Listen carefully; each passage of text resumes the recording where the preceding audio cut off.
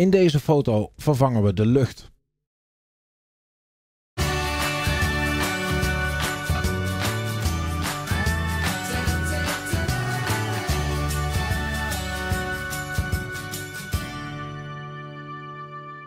En dat doen we op een nieuwe manier, want sinds Photoshop 2021 biedt Photoshop daar zelf de mogelijkheden voor.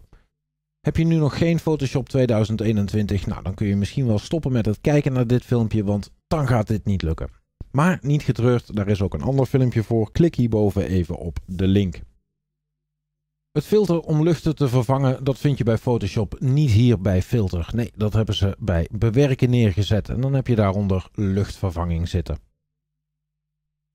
Als je daarop klikt, dan komt er een nieuw venster en Photoshop zal automatisch de eerste lucht voor je importeren. Ik zet het even hier aan de zijkant neer.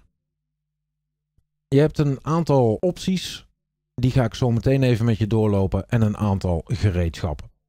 Allereerst heb je het kruisje waar je nu op staat en dat betekent dat je je lucht zou kunnen verplaatsen naar een gebied wat jij interessanter vindt. Daaronder heb je een kwastje staan. Klik je daarop, dan krijg je bovenin wat opties om dingen toe te voegen en weg te halen. Stel dat jouw lucht ergens doorheen loopt, omdat Photoshop het net niet helemaal goed kan zien. Bijvoorbeeld bij die boom hier.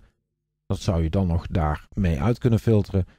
Je hebt een loopje om in te zoomen en een handje om eventueel mee te kunnen schuiven. Klik met rechts in je foto om hem weer terug te zetten in het venster.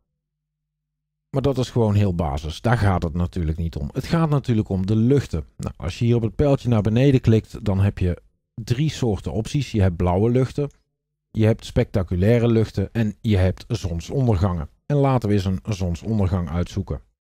Ik ga voor deze. Dit past op zich natuurlijk een stuk beter dan de oorspronkelijke lucht die hij had. Als ik bijvoorbeeld nog even terug ga en ik zet voorvertoning uit, dan was dit mijn oorspronkelijke foto en dit wat ik tot op heden heb. Dit is een stuk interessanter. En je ziet hoe snel het is gegaan. Je hebt een aantal opties. Je hebt onder andere de eerste rand verschuiven, die bepaalt waar jouw lucht begint, eigenlijk vergeleken met de rand van jouw foto.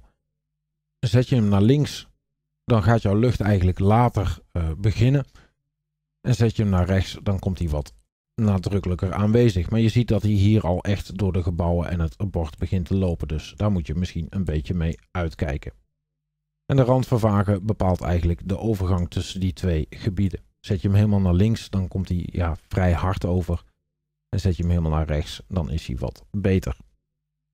Vervolgens heb je de optie om de helderheid aan te passen. Je kunt de lucht wat lichter maken als dat wat beter bij je foto kleurt. Of eventueel juist wat donkerder als je dat mooier over vindt komen. Ik maak hem in dit geval een beetje lichter en eventueel kun je hem ook wat warmer maken. En dit heeft ook meteen effect op je voorgrond. En dat is wel logisch natuurlijk. Als je je lucht warmer maakt, moet natuurlijk de voorgrond ook gewoon warmer worden. En er zit een algoritme achter, want het gaat niet gelijk op. Let bijvoorbeeld even op de straat zelf. Als ik de oorspronkelijke foto laat zien, dan kleurt deze ook in de voorgrond wat warmer. Eventueel kun je de foto nog schalen. En dit is afhankelijk van hoe groot jouw oorspronkelijke foto is. Want als je dit te groot doet, dan zie je eigenlijk gewoon de pixels van de lucht al terug. Maar je kunt dus eventueel een klein beetje de verhouding aanpassen. En doe je het te klein, ja, dan zie je dat de lucht eigenlijk oorspronkelijk ook te klein was. Maar daarmee kun je dus ook nog gewoon een, beetje spelen. En eventueel kun je hem dus ook nog gewoon een beetje verplaatsen. Voor als je dat fraaier vindt klap ik het stuk luchtaanpassingen even dicht en aanpassing op de voorgrond even open. Ook daar heb je wat opties. Je hebt twee belichtingmodussen, vermenigvuldigen en raster. Nou, op zich, uh, ja, daar zit wel wat verschil tussen, voornamelijk in de overgang. Vermenigvuldiging vind ik op zich mooier. Je kunt ook het licht van de voorgrond nog aanpassen. Als je een donkerdere lucht erachter zet, ja, dan moet je het licht op je voorgrond natuurlijk ook een beetje terugzetten. Dat kun je hiermee doen. En je kunt eventueel een beetje de kleur aanpassen. Nou, dit wordt te veel van het goede. Laat ik het hierop houden. Dan heb je hieronder heb je de uitvoer. En daar moet je even goed op letten. Je kunt kiezen voor laag dupliceren. Dan wordt het hele effect toegepast op de foto. En dit zal er als een nieuwe laag bovenop komen.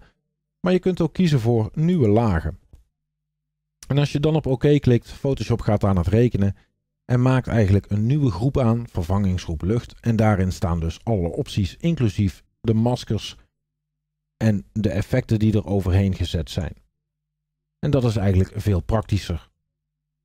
Het houdt je document wat kleiner en het werkt misschien makkelijker om eventueel nog dingen aan te passen. Want je zou kunnen zeggen van nou, ik gooi hier een masker op. En met een kwast kun je dan nog zeggen van nou, ik wil een verloop onderin mijn voorgrond. Waarin het effect niet zo aanwezig is. Zou kunnen dat je dat wil. Ik verwijder het masker weer, want ik vond het wel aardig wat Photoshop ervan gemaakt heeft. En zo eenvoudig is het dus om een lucht te vervangen sinds Photoshop 2021. Ik zou zeggen bedankt voor het kijken, tot de volgende keer en doei doei!